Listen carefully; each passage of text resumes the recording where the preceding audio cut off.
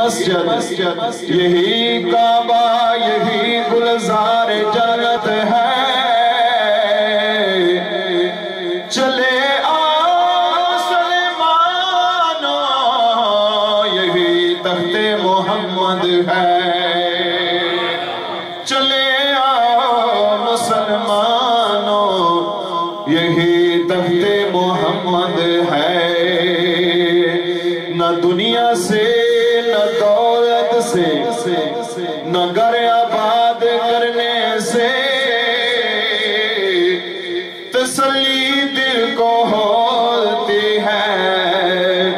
بس خدا کو یاد کرنے سے۔ آپ نے سبحان اللہ میں کنجوسی نہیں کرنی ہے۔ پہلا شعر اکثر میں پڑھتا رہتا ہوں، توجہ فرمائیں۔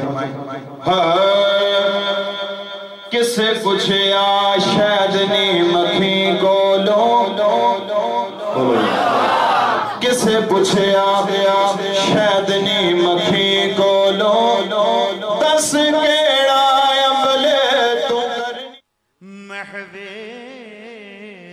دیدار مصطفیٰ بھی رہے اور ان کی نماز ادا بھی ہوئی۔ محو دیدار مصطفیٰ بھی رہے اور ان کی نماز ادا بھی ہوئی۔ دیکھے اصحاب نے ہسی جلوے اور ان کی نماز ادا بھی ہوئی۔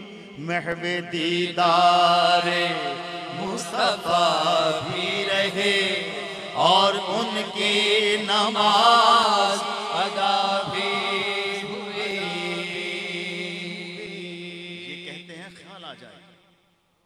سیدنا ابو بکر صدیق رضی اللہ تعالیٰ عنہ آپ امامت فرما رہے ہیں۔ مسجد نبی شریف ہے۔ پیچھے صحابہ کھڑے ہیں۔ نماز ہو رہی ہے۔ نماز کے دوران حضور صلی اللہ علیہ وآلہ وسلم مسجد نبی میں تشریف لے آئے پچھلی جانب سے۔